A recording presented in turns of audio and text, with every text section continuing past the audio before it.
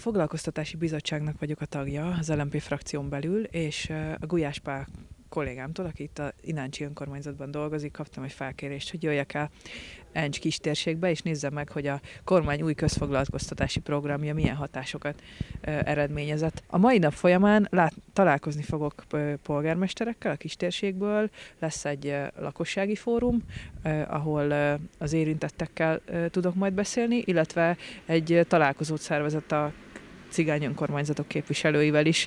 Tehát mindazokkal az érintettekkel, akik, akik, akik valamilyen formában a közfoglalkoztatásról tudnak beszélni, és el tudják mondani, hogy egy hónap alatt mit tapasztaltak. A problémák, amiket ti tapasztaltok, azokat én el tudom vinni a parlament nyilvánossága elé. Fel tudok szólalni, és meg tudom kérdezni a, a minisztert arról, hogy igazából mit is, mi a válasz ezekre a kérdésekre. Tehát, hogy ez történik, egy hónap után ezt lehet tapasztalni azokban a régiókban, ami, akiknek a legnagyobb szüksége van a közfoglalkoztatási programra, erre mi az ő válaszuk. Hajlandóak-e változtatni, hajlandóak-e meghallgatni azt, amit az emberek mondanak. Próbálok beszélni a többi parlamenti párt képviselőjével, és ezt a foglalkoztatási bizottság elé bevinni. Annak örülnék a legjobban, hogyha munka, folyamatos munka lenne. Nem két hónap, hát két hónapot minek?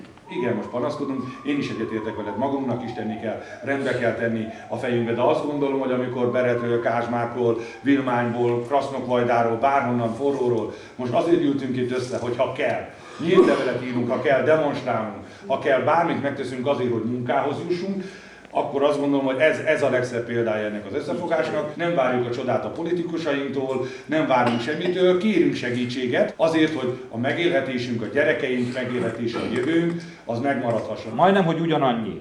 Hányatott sorsú, szegény, magyar van, mint amennyi roma. Ebbe a, régióban. ebbe a régióban.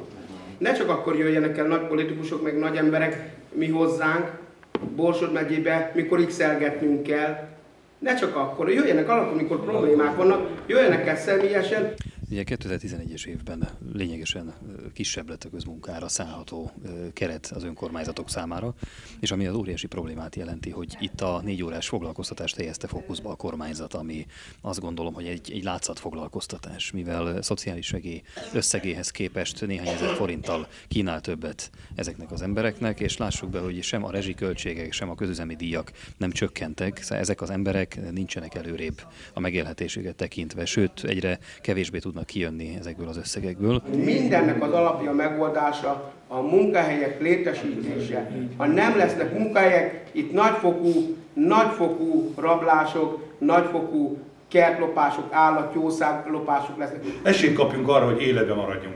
És amikor én elmondtam, akkor hál' Istennek, hogy megerősítitek, és nem csak az én véleményem az, hogy na valós veszélye van az éjséglázadásnak. Ugyanannak, ami három-négy évvel ezelőtt Szlovákiában Kassának történt. Vannak régiói az országnak, ahol csak egy foglalkoztató jöhet számításba, akkor amikor az ember munkát keres, és ez az önkormányzat, vagyis az állam. Mert elmegyünk egy 58 éves, hogy munkát kérünk. Köszönjük szépen, mert betöltötte az időt, már nem kell.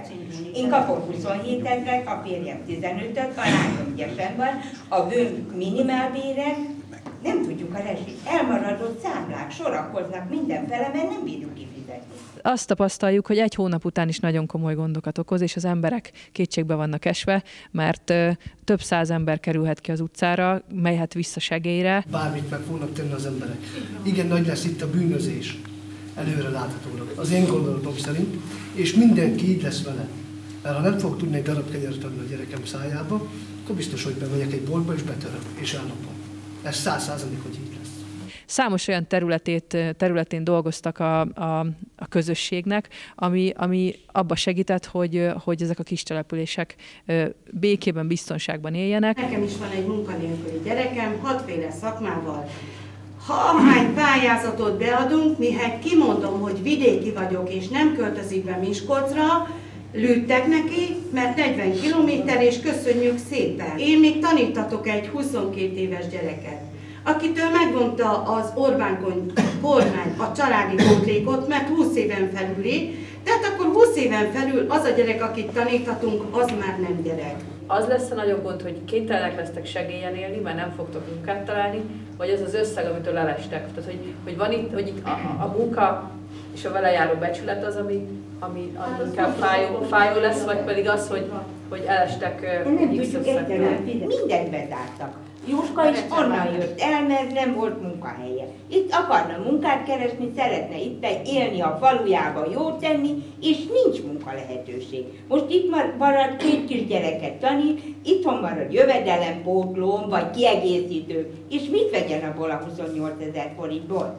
A gyereknek egy cipőt, vagy egy szeret kenyeret, mert a kiszámolja, vagy épp a gyógyszert, mert ma is az orvoshoz vitte, példának mondom. Üzenem Orbán úrnak is érezze meg ő is, hogy holnap nem fog enni a gyerekek alácsot, csak majd két napos száraz kenyeret, és akkor majd meg fogjuk tudni, mi az, hogy alul élni, meg mi az, hogy 27 27 megélni. Megígérte azt, hogy az embereket kiemeli.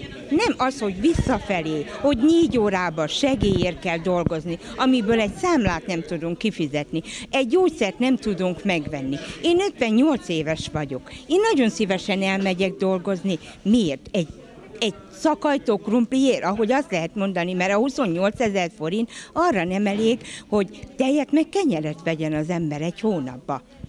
És akkor miért menjünk? Állítsák vissza a 8 órát, és adjanak az embereknek pénzt, ne segélyt adjanak, munkát adjanak mert mi munkát kérünk. Van itt hát, annyi cigány gyerek érettségivel, meg még plusz három szakmával, meg minden szakmával, és nem tudnak elhelyezkedni, mivel az én gyerekem is már 7 hónapja itt van érettségivel plusz szakmával. Itt segélykiáltás van, dolgozni akarunk, nem éhezni, mert itt éhezés van.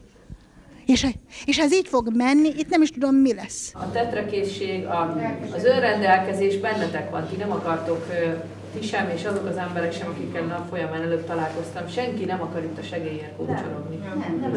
Az emberek dolgozni szeretnének, és az államnak fel kell ismernie azt a tényt, hogy ebben a régióban ha nincsen fejlesztés, nincsen magántőke, az állam a legfőbb foglalkoztató. Orbán Viktor az évértékelőjében is a munkabecsületéről beszélt, meg arról, hogy az embereknek dolgozni kell.